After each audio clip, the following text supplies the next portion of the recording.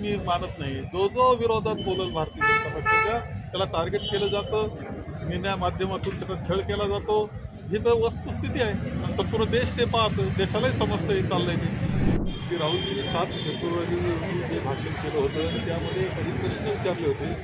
की जे अदानीचं जे प्रकरण झालेलं आहे ते जागतिक पातळीला जे गाजलं जो आर्थिक फुगोटा त्यामध्ये झाला त्यामध्ये पंतप्रधानांचा कसे संबंध आहेत या सगळ्या याच्यामध्ये?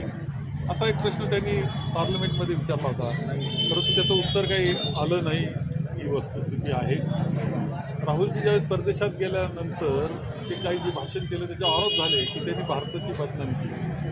राहुलजी परदेशातून परत आल्यानंतर त्यांनी मागणी पार्लमेंटमध्ये अशी केली की मला त्याचं उत्तर देऊ द्या. माझ्यावर व्यक्तिगत आरोप सदस्यावर झालेला आहे. ज्यावेळेस सदस्यावर व्यक्तिगत आरोप होतो त्याला उत्तर द्यायचा अधिकार असतो.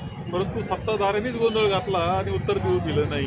ही आणि म्हणून आणि त्याच्या पलीकडे जाऊन राहुलजींची एक जुनी कधी केस काढली गेली तिच्यामध्ये हेरिंग झालं त्याचं हेरिंग होऊन लगेच शिक्षा झाली शिक्षा होऊन लगेच त्यांची खासदारकी रद्द केली गेली. हा जो क्रम आहे हा सुद्धा काळजीत पाडणार आहे लोकशाहीला.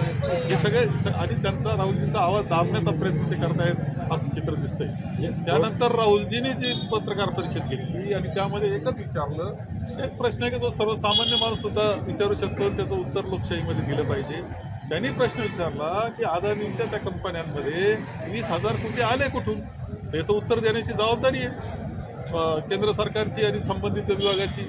परंतु ते उत्तर द्यायला अद्यापही उत्तर दिलं जात नाही. फक्त आवाज दाबण्याचं काम चाललेलं आपल्या सगळ्यांना दिसतं. आणि त्याच्यातून खरं हा लोकशाहीचा आवाज दाबला जातोय. हा एक विषय आहे. ते आंदोलन त्या मुद्द्यांवर होणार आहे त्या आंदोलनाची माहितीसुद्धा मी दिली. महागाई आहे बेरोजगारी आहे शेतकऱ्यांचे प्रश्न आहेत कामगारांचे प्रश्न आहेत व्यापाऱ्यांचे प्रश्न आहेत प्रश्न प्रश्न आहेत. हे सगळं सगळं काही आहे. ही कुठेतरी लोकांची दिशाभूल करून दुसरीकडे लक्ष वळवण्याचा प्रयत्न चालतो आहे. आम्हाला लोकांना त्यांच्या प्रश्नाकडे न्यायचं आहे आणि जागृती करायची आहे.